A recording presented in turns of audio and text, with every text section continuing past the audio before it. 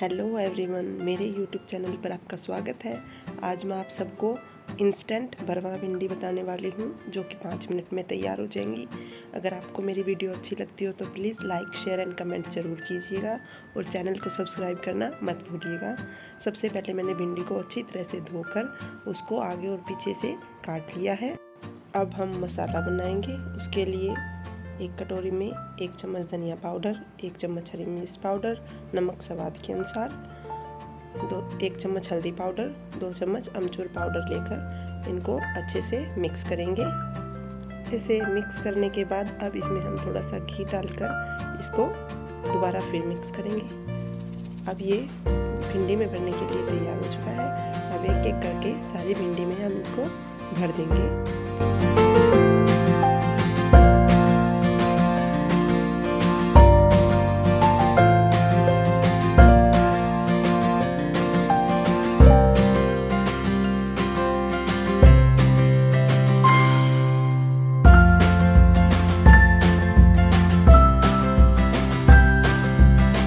हमारी सभी भिंडियों में मसाला भरकर रेडी हो चुका है। अब हम एक पैन लेंगे। पैन में हम थोड़ा सा घी डालेंगे। घी या तेल आप अपने अकॉर्डिंग डाल सकते हैं। इसमें हम थोड़ी सी सौंफ डालेंगे।